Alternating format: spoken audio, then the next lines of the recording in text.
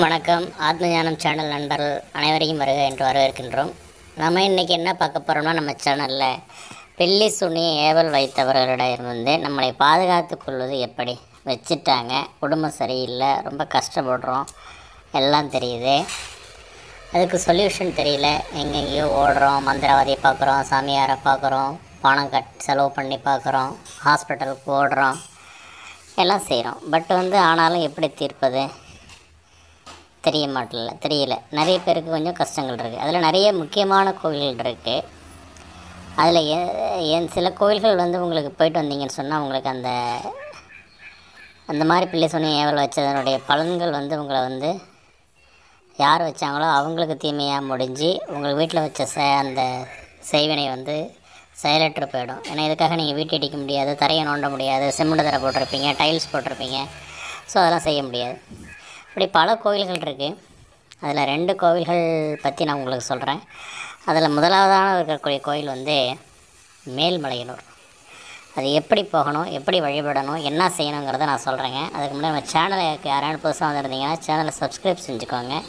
கூடவே தெரியக்கூடிய பெல் ஐக்கானை போட்டுக்கோங்க. ஏன்னா நாங்கள் வந்து சித்த ரகசியங்களை தொடர்ந்து சொல்லிக்கிட்டு வரோம்.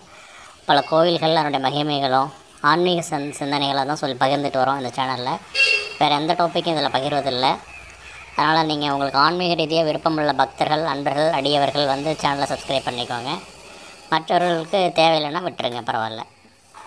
இப்போ இந்த மேல்மலையனூர் அப்படின்னு பார்த்தீங்கன்னா இது விழுப்புரம் மாவட்டத்தில் இருக்குது விழுப்புரம் தாலுக்காவில் இருக்குது இங்கே வந்து அங்காள பரமேஸ்வரி புற்றுத்தேவின்னு சொல்கிறாங்க ஒரு முறை பிரம்மாவினுடைய மனைவியான சரஸ்வதி மற்றும் பார்வதி மற்றும் சிவபெருமானுக்கு பிரம்மாவின் மனைவியான சரஸ்வதி பார்வதி மற்றும் சிவபெருமானுக்கு சாபம் விட. அவங்க என்ன பண்ணுறாங்க பார்வதிக்கும் சிவபெருமானுக்கும் சாபத்தை விடுறாங்க. சாபமச்சோனம் பெற பார்வதி வந்து என்ன பண்ணுறாங்க விஷ்ணு வேண்டுறாங்க. அப்படி வேண்டும் பொழுது அவர்கள் மேல்மலையில் உள்ள ஒரு நதிக்கரையில் சென்று ஒரு அஞ்சுதலை நாகமாக புற்றில் இருந்தால் சிவபெருமான் வந்து அங்கே வந்து அவங்களுக்கு சாபமோஷனத்தை வந்து மீண்டும் மணப்பார் அப்படின்னு சொல்லப்படுது. அவர் கூறியது போலவே அங்கே வந்து பார்வதி தேவி வெகுதாலும் அங்கே சிவனுக்காக காத்திருந்தாள். சிவனும் மேல்மலையனூரில் இருந்த நதியை தாண்டி வந்தபோது அகோர உருவில் பாம்பாக இருந்த பார்வதியும் மேலும் சிவபெருமானும் சாமமோச்சனம் பெற்றார்கள். அந்த நேரத்தில் தான் மேல்மலையனூரில் அந்த அதிபயங்கர உருவுடன் இருந்தவாறு அங்கு வந்து அவளை வேண்டி துதிக்கும் பக்தர்கள் சாப மோட்சனம் மற்றும் அவர்களுக்கு ஏற்படக்கூடிய தீமைகளை அழித்து பக்தர்களுக்கு ஏற்படக்கூடிய பில்லி சூனிய தீமைகளையும் ஒழிக்கணும் அவர்கள் நலனை காத்தரணும் அது எப்போவுமே அந்த மாதிரி நான் இருப்பேன் அப்படின்னு சொல்லிட்டு மறைஞ்சிட்டார். அதனால் அந்த பார்வதி இந்த இடத்துல அந்த பூமியில் புற்றாக புற்றில் பாம்பாக உள்ளதாக அந்த பார்வதி தேவியானவர் புற்றிலே பாம்பாக உள்ளதாக ஒரு ஐதிகம் இருக்குங்க. அதனால் முக்கியமாக பார்த்தீங்கன்னா அமாவாசை நாட்களில் ஆலயத்தில் வந்து மேல்மலையினரும் உங்களுக்கு தெரியும் கூட்டம் நிரம்பி வழியும். கருவறையில் பார்த்தீங்கன்னா புற்றியே தேவியாக தான் வழிபட்டு அதை வந்து பூசிக்கிறாங்க. வருடாந்திர உற்சவமும் இருக்குது. அப்பொழுதும் கிராமத்தினர் வந்து புதிய தேரில் வந்து அம்பாவில் உட்கார வச்சு ஊர்வலமாக எடுத்துகிட்டு போவாங்க.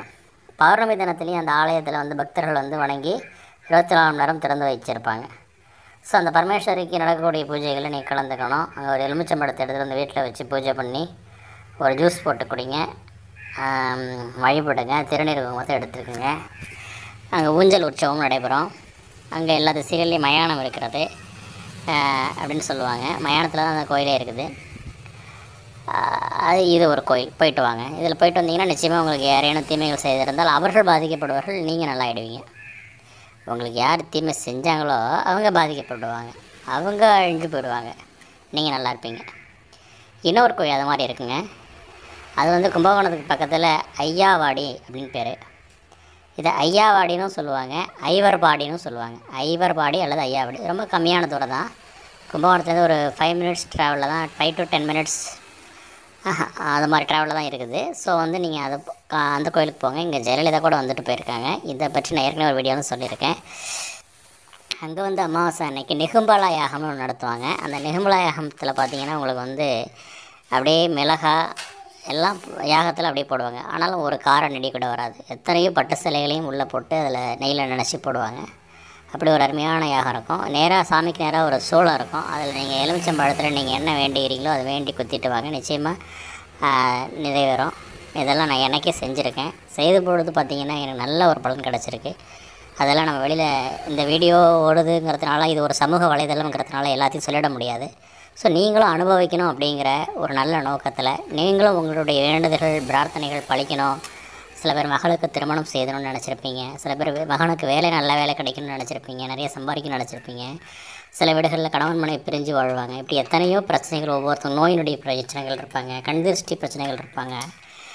சிலருக்கு என்ன காரணமே தெரியாதுங்க. அடிக்கடி பிரச்சனை வந்துகிட்டே இருக்கும் தொந்தரவுகள் வந்துகிட்டே இருக்கும். ஸோ அவங்கெல்லாம் எப்படி சமாளிக்கணும்னு தெரியாமல் இருக்கும். இப்படி பல பிரச்சனைகள் மனிதரோட வாழ்க்கையை வந்து ஆட்டி வடைச்சிட்டு இருக்கு. தயவுசெய்து இந்த மேல்மலையனூர் கோயிலுக்கும் ஐயாவடி கோயிலுக்கும் ஒரு அமாவாசை தினத்தன்று போய் வரணும். அது ரொம்ப முக்கியம். எல்லா நாளும் போகிறத விட அன்னைக்கு தான் சாமி வந்து ரொம்ப உக்கிரம் பெற்று அதிக சக்தி பெற்று இருக்கும். ஐயாவடியில் எலுமிச்சம்பழத்தை கொத்திட்டு வர சொல்லியிருக்கேன். மேல்மலையனூரில் ஒரு எலுமிச்சம்பழத்தை வச்சு படைச்சி எடுத்துகிட்டு வர சொல்லியிருக்கேன். இதெல்லாம் ஞாபகம் வச்சுக்கோங்க. நிச்சயமாக பக்தியோடு இந்த ரெண்டு தெய்வங்களையும் வழிபடுங்க. உங்களுக்கு வந்து நல்ல பலன்கள் கிடைக்கும். இந்த ஐயாவடி கோயிலை பற்றி பார்த்திங்கன்னா அதில் வந்து பஞ்சபாண்டவர்களும் பூஜித்த தலம் அது. இன்னும் நிறைய வரலாறுகள் இருக்குது நம்ம ஷார்ட்டாக முடிச்சுக்கிறேன். சரி மீண்டும் ஒரு சித்த ரகசியத்தோடு உங்களை அடுத்த வீடியோ பதிவில் சந் சந்திக்கிறேன். சித்த ரகசியங்களை தொடர்ந்து தெரிந்து கொள்ள சித்தர்கள் நடத்திய சாதனைகளையும் சித்து வேலைகளையும் பற்றி தொடர்ந்து தெரிந்து கொள்ள அறிந்து கொள்ள நம் சேனலோடு இணைந்திருங்கள். ஏன்னா நமக்கு வந்து அதுதான் முக்கிய கடமை. நம சிவைய மசிவயன சிவய நம வய நம ஸ்ரீய நம சிவ ஓம் என்ற பஞ்சாட்சர மந்திரத்தோடு என்ற வீடியோ இந்த வீடியோ பதவியை நிறைவு செய்கிறேன். மீண்டும் ஒரு நல்ல பதிவில் உங்களை சந்திக்கின்றேன். நன்றி வணக்கம் வாழ்க வளமுடன் தெரியாததை தெரிந்து கொள்வோம் தெரிந்ததை பகிர்ந்து கொள்வோம்.